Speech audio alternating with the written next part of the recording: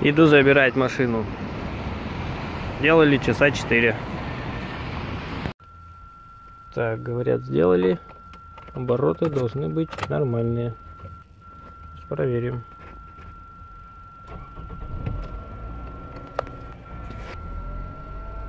В общем, почистили дроссельную заслонку.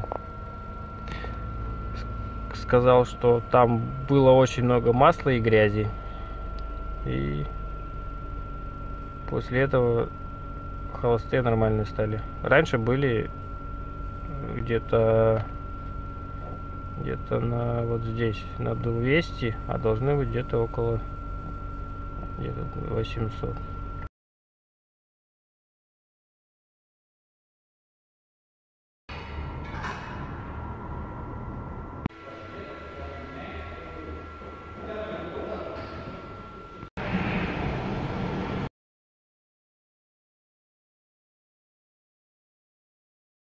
Идем в офис Юго забирать полис. Вот полис.